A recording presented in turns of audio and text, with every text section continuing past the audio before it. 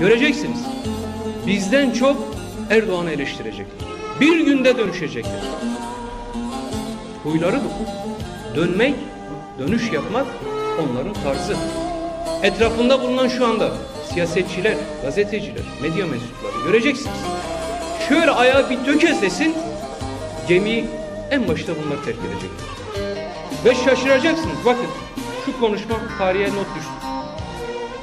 Diyecekler ki Erdoğan gelmiş geçmiş en despot lider, en zalim liderdi diyecekler. Bunlar diyecek. Şu anda şu bol maaş alanlar var ya.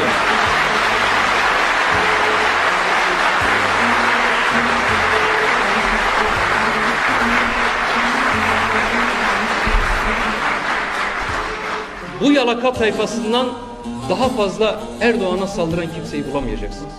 Hepimizin önünde koşacaklar. Erdoğan devlet ve millete şunu etti, şu kadar kötülük yaptı diye şu günün yalakaları o günün yalakaları olacaklar. Sizden ricam, sizden ricam.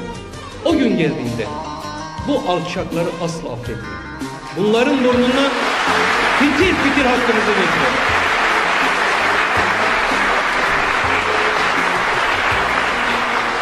Ve inanın, inanın o gün uzak değil. O gün uzak.